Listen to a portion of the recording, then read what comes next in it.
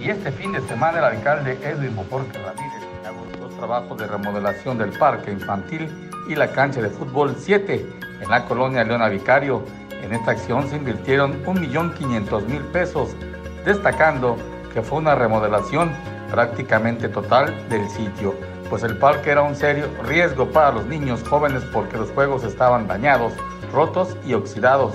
Mencionando en muchas ocasiones, este programa es de los más bonitos del ayuntamiento, pues fortalece el lazo familiar, además de lo que se genera espacios necesarios para que los adolescentes se alejen de las adicciones y la delincuencia, subrayó el edil canacinense.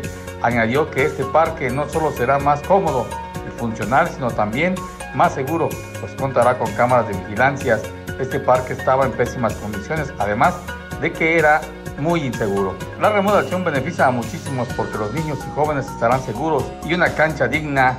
Que resaltar que la renovación del parque no solo beneficia a los vecinos del lugar, sino también a los que se encuentran en colonias aledañas.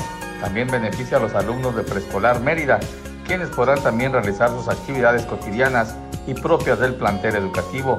De igual manera, la edil entregó balones de fútbol los jóvenes que practican en esta cancha de usos múltiples, con lo que podrán practicar su deporte de mejor manera.